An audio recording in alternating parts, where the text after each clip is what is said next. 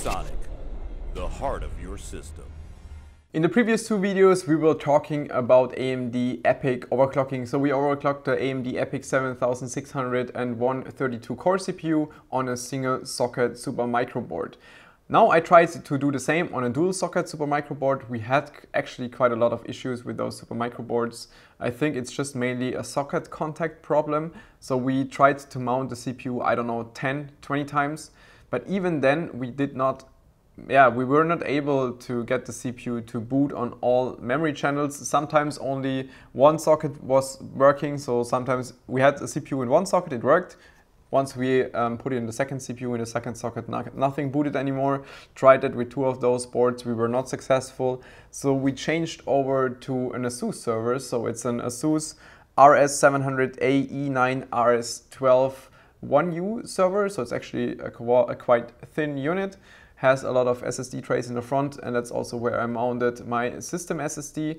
It's a very interesting product, especially when we will take a look at the VRMs later, which was actually quite impressive and also very interesting. So the server obviously has two SP3 sockets, which we need to put in our two 32 core AMD EPYC CPUs. Then we have 32 DIMM slots, but we will only occupy half of them. So we will use 16 of the DIMM slots, but we will put in um, 2666 megahertz crucial 8 gigabyte dual ranked DIMMs. So it should not really make a difference if we occupy all all slots with single ranked modules or if we occupy half of them with dual ranked modules should actually be the same performance and there's nothing higher performing available than 2666 megahertz unfortunately also, we have the opportunity in the BIOS of the server to adjust uh, the memory frequency, but we can change it to 2933 megahertz in the BIOS, but it does not apply because all the CPUs are locked. So unfortunately, AMD locked the memory speed on all those uh, CPUs, similar to what Intel is always doing, but we're losing actually quite a lot of performance on this. So yeah, it's unfortunately AMD locked them down there, but there's nothing we can do about that. So going back to the server, the server is powered by two redundant 800 watt 80 plus platinum PSUs, which is actually quite impressive. So we can technically use only one PSU to power the whole server, even with 64 cores, works fine.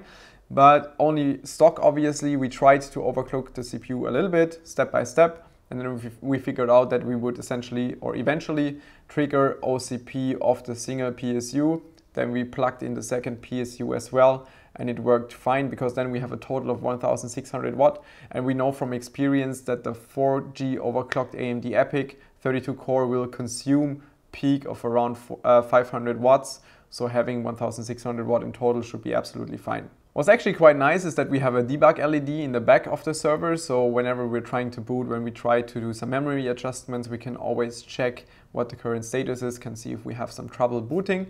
That's a quite, a quite nice feature to have. Also in the back we have obviously all the connectors, uh, USB, uh, we have the VGA port for the internal graphics um, from the server, but we also have PCI Express slots with angled connectors. So I was able to mount an NVIDIA GTX 1050 uh, Ti, which I picked because it doesn't need additional power. It's just consuming the power from the PCI Express slot and having a yeah, dedicated um, GPU saves some performance from the CPU as well. It's not really much, but we just want to be sure that we have the maximum CPU power without any limitations. So as I pointed out earlier, the VRM on this server board was really surprising and also really solid. So we have two times six phases for the CPU, so we have six phases per CPU, and those are international rectifier um, 3555M, which is very common. It's a very common power stage, but also very powerful. So we have around 60 amps per phase as max. Typically, we don't have a heatsink on them. It's not really necessary if the server is mounted in a rack because you have all the airflow going across the board. It's going underneath the board as well, which helps quite a lot. Obviously then going over the CPU through the PSU and all that to cool the whole server. But normally the CPU is not overclocked, they don't consume so much power. So six phases of those um, power stages is quite good. And then we saw that there's a massive amount of phases in the middle area of the server. So we have four additional phases on the bottom for the memory. Then we have eight phases in the middle for the memory and additional four phases on top for the memory. So we have 16 phases just for memory power, which kind of makes sense considering that we have 32 slots which can be occupied by those massive memory sticks uh, like very high density i think now what do we have 128 gigabyte or 256 gigabyte even um, per stick so obviously they consume quite some power so you need um, solid vrms if you would occupy all those slots then we also have two additional phases on the bottom for SoC voltage for the bottom CPU and additional um, two SoC phases for the top CPU. Obviously, because it's a server board, it only has the minimum necessary required features in the BIOS, so it's not possible to change the voltage in the BIOS itself. That's why, again, we used the Elmor EVC, which is an I2C device we can directly hook up to a connector that's already on the board. It's something like VRM tests connector, something like that. It's labeled. You just need those three pins for I2C and then we can directly hook up the Elmor EVC, disable OCP, very convenient. We can adjust the core voltage. So that's all we need for the overclocking. So the goal of this whole project was obviously to achieve an incredible Cinebench R15 score, if possible also break the overall Cinebench record. But for that, we yeah we need kind of um, sub-zero temperatures. So ideally, we would use liquid nitrogen on the both CPUs. But it's not so easy because all AMD Ryzen-based CPUs, they have a lot of problems going sub-zero. For Pinnacle Ridge or for the old AMD Threadripper, um, especially if you use like a Zenith Extreme. Everything is fixed. There's like a special BIOS on there where you can go sub-zero without any problems.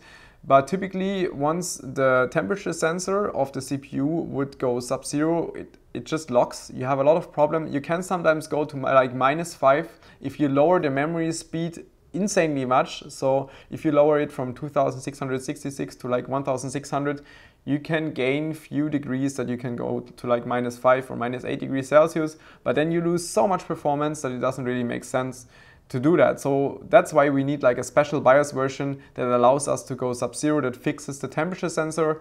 We're working on that. We will probably do that in one to two weeks once we have the fixed BIOS version. But for now, we don't have that. So we're kind of limited in temperature. The chiller, we would adjust to like 1 to 3 degrees water temperature. And obviously, because we want to have the maximum or the best cooling, that's why I picked the XSPC Raystorm Neo, which is uh, yeah, very solid um, water block for the TR4 socket from my point of view. And um, we used liquid metal on the CPU. Typically, I'm not so much a fan of applying liquid metal between CPU and a water block when the water block is not nickel plated. So the XSPC Raystorm Neo is not nickel plated. So over time, some of the uh, liquid metal will diffuse into the copper. So it's kind of, it's not really hardening, but it, it kind of is. So uh, we just have to take off the CPU after a few months and reapply a little bit of liquid metal to keep the same performance. Ideally, we would use a nickel-plated uh, CPU cooler, but I didn't have one available. Still, of course, we picked liquid metal because we need the best temperatures. Very similar to my previous projects, I built an acrylic box, which you can now see laying on the table. You can see the Devaro logo in front and also an ASUS logo on the side. That's because we will also show this system this year at Gamescom in Cologne. So if you if you will be at Gamescom in Cologne, feel free to pass by. I will be there the full time. We can just have a chat. You can take a look, a look at the server system, which will be really impressive, which you will see later in this video because we will again use 3M Novec in the system. And that's for several reasons, especially to keep the VRMs cold, because here you can now see the monitoring of the Elmor EVC and we will perform a test run at 4 gigahertz.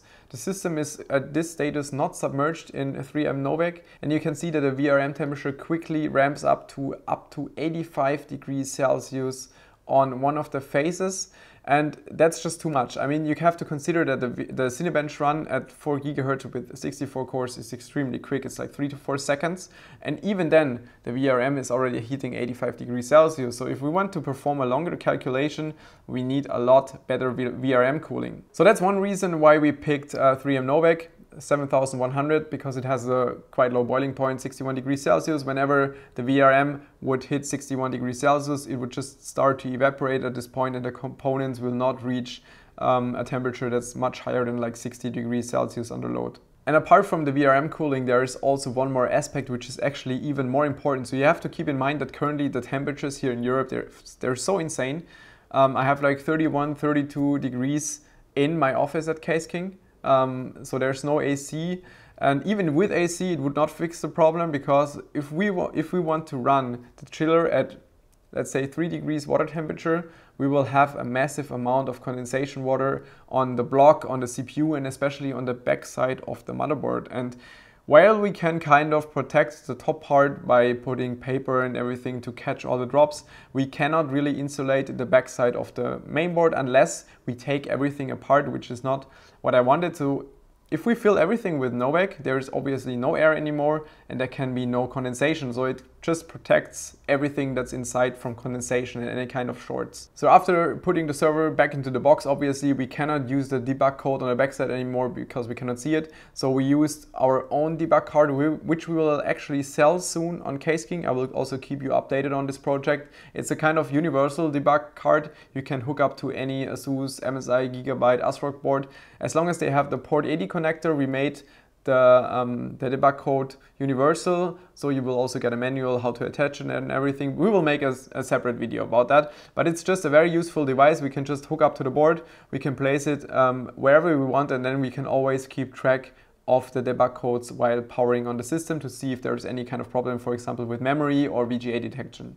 So then I started filling the box with 3M Novec 7100 again because I see those comments so many times. Even though you have seen 3M Novec so many times on my channel, it's not mineral oil, it's not electrically conductive, it does not damage anything in there, it's also not hazardous, so no worries about myself, I can just put my hand in there if I want to fix something, it's not dangerous. I mean, obviously you should not drink it, which you wouldn't, but um, as long as you're careful working with this stuff, it's really not dangerous. I first wanted to fill the entire server, but I kind of underestimated yeah, how strong and also how problematic those fans can be. I kind of thought that the 3M Novec would slow those fans down, but you can see once I turn it on, this system turns into something absolutely impressive. And it's also impressive for cooling, obviously, because the fans are pushing the Novec across the PCB, across the memory, so it's cooling the VRM really, really well. Um, the only problem I had was once I filled it too much, it kind of slowed down the fans in the PSU too much. As I said before, no worries about the PSU. The stuff is not electrically conductive, so it's also perfect for the PSU cooling. But the problem is that the PSU is keeping track of the fan speed.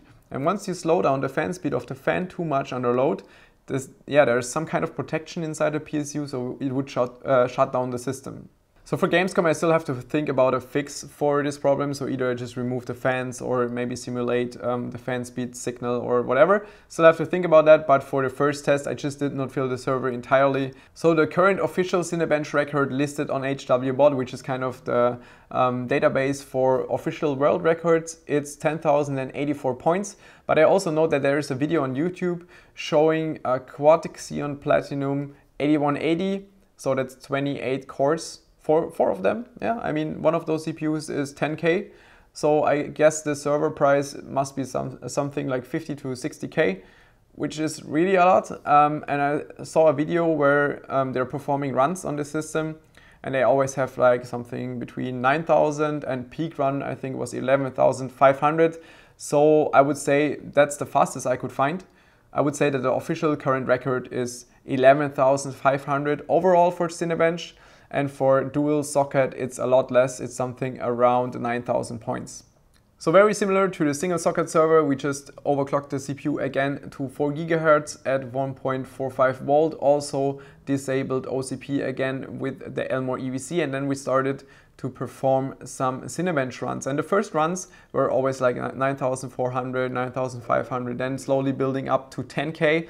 Then we fixed some stuff in the background, we disabled some services, we optimized Cinebench and then kept rerunning. And then we ended up at around 10,200, 10,300 points very consistently, which is really impressive considering that the current Cinebench record, as I said before, is done by four 28 core CPUs, Intel Xeon Platinum, the score fluctuates a lot, so it really depends on the individual core speed because the core speed on those CPUs is obviously not stable. But because we can overclock the AMD EPYC CPUs, they're always stable at the exact same clock, so also the score and the calculation is really consistent. Then we tuned the system a little bit more. We pushed the CPUs to 4050 megahertz and we also set the process priority of Cinebench in Task Manager to real time, which kind of makes it not as beautiful to look at because you cannot see the entire calculation because basically if you set it to real time, all the processes in the background are stopped until the calculation is done.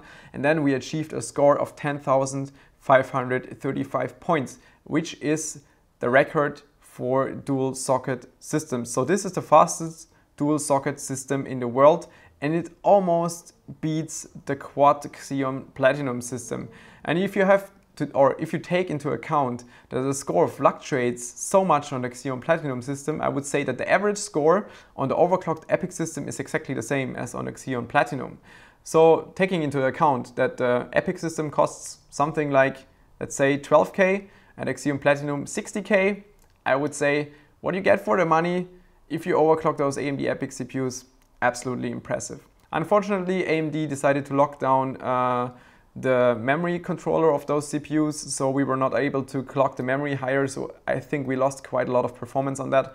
I think we could have gotten the record maybe, even just with the chiller without liquid nitrogen, if we were just able to push the memory speed higher, which was not possible. But for now, it's absolutely impressive. 10,500 points in Cinebench for, let's say, roughly 12,000 euro. Absolutely impressive. Let's see what we can do once we have the fixed BIOS, once we can go lower in temperature. As I said before, you can see the system live at Gamescom. If you're there, don't hesitate to, to pass by. Maybe we can have a chat about the system or whatever you like to. Enjoy the rest of the day. See you soon.